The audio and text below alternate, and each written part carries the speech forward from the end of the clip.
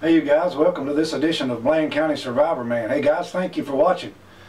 Guys, today on Bland County Survivor Man, I'm going to teach you guys how to file a handsaw. Now I know that handsaws, that one sings pretty good. Handsaws don't get used very much anymore. Even I don't use them because, you know, electric saws are just a whole lot faster. But for my friends out there who homestead and who do a lot of their stuff off the grid, they still use hand saws. And they need to know, guys, how to sharpen these things so, of course, that you don't have to take them somewhere and get somebody to charge you $10 or $12 or 15 bucks to sharpen one for you. And there's no doubt about it, they get dull just by use. And uh, the set will go out of them everything. So I'm going to show you in a minute with close-up photos and video of how to use a saw set. That's what that is right there. And why you use the saw set. So uh, I'll catch you back in just a few seconds. Okay you guys, first of all you'll see that I've got this in a handsaw vise. Now, I bought this old handsaw vise off my uncle about 40 years ago. A lot of the stuff I'm, I'm always using 40 years ago. And by the way, when I was in the 82nd Airborne Division in Fort Bragg, North Carolina there 80 years, or excuse me, 40 years ago, I was actually the company, what they called the company self-help man. And the company self-help man was actually the company carpenter. So I, they sent me to different schools to learn how to do stuff. And uh, one of the things that I learned how to do was sharpen a handsaw. And one of the things I like about this vise right here is this vise will swivel. I can put it on different angles if I want to. See, I can lay it over like that. And really, I haven't seen another one like it anywhere. But anyway, I'm going to show you how the saw set works. First of all, when you, uh, get an old handsaw, what you want to know is what, uh, how many teeth per inch it is. And that's what makes it either a rip cut, cross cut, or a fine cut saw. And uh, as I was measuring this one a few minutes ago, I found out that this one has one, two, three, four, five, six, seven, eight. So that makes it an eight point saw. And the the reason I want to know that is is because this tool right here can be turned around to whatever setting of your teeth is, uh, the teeth in your saw is. And uh, this one just happens to already be set on 8 for the an 8 point saw.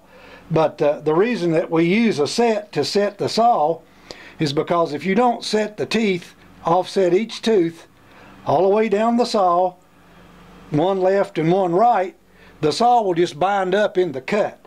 So that's what you do when you set your saw. You're making a big enough space or a kerf in the in the uh, saw cut when it goes through the piece of wood the saw won't pinch so to set that thing to set them teeth I'll go every other one this direction and I'll just press that thing in press it in and press it in this is a really an old saw that I picked up at a junk sale so the teeth are really worn but I think it'll be self-explanatory in this video.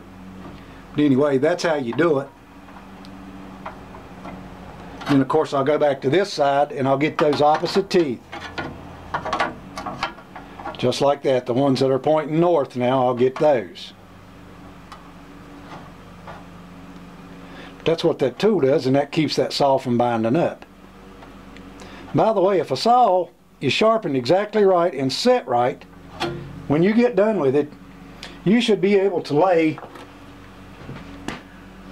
you should be able to lay a needle. Now this won't set up on there because it's too big, but you should be able to lay a needle right up on the edge of that saw or right up on those saw teeth and it should sit right there. So now I'll get my file out and do another close-up and let you watch me file this saw and explain how you file it. Okay you guys, what you use to file handsaws with is a three-corner file. A little old cheap file, it don't cost very much.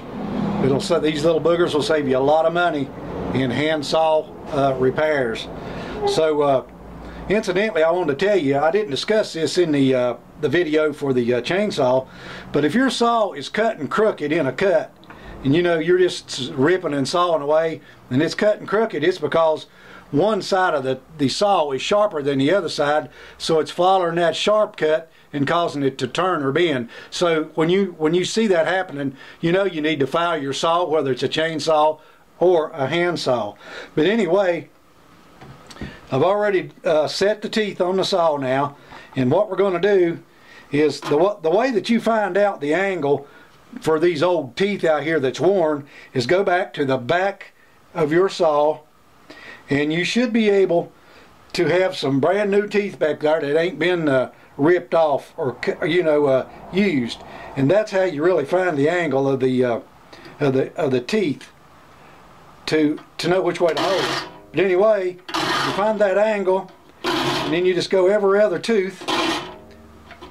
Hold your file on a 90 degree with your teeth. And what's happening is it's sharpening that tooth the one right now that's pointing south plus it's cutting the front of this tooth that's pointing north. So you go every other tooth and do the same thing you do with a chainsaw count your strokes so that you don't cut teeth the notch in there deeper than the other ones. And this, guys, is simple to learn how to do. And uh, when I could really see good without bifocals on, I could hand, I could file one of these saws in about 20 minutes because I used to do it where I worked for a construction company because nobody else knew how to do it. And here I was, a 20 year old guy that just got out of the service. And uh, they called me the file doctor. So that's simple, guys. That's just exactly how you do it. And uh, another thing I want to tell you is this. If you don't have one of these devices like I've got this saw set up in, you can put it between two boards in just a regular old vise and, and just pinch it down. You don't want it sticking way up because it's floppy. It'll be floppy. But uh, I'll finish filing this saw then I'll then I'll shoot a video of me sawing something with it just to see how good I done. Simple and easy.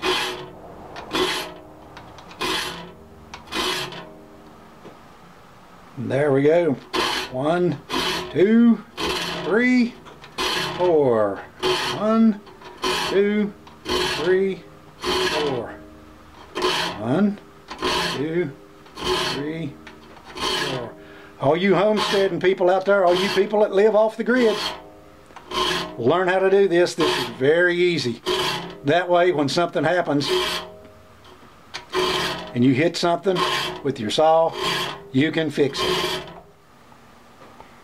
Okay guys, I done finished sharpening this saw and I just wanted to show you guys I took a nail and laid it right up on those teeth. And that that means that it's set right. See? You can see how shiny the teeth are now. That thing was really dull. But anyway that's what that's what you can do to test it to see whether or not you got it set right. A small nail or a needle either one should lay right up on those teeth right there. Now I'll get the thing down and we'll cut a board with it and see if it'll really cut. Okay all you homesteaders. See if this thing will cut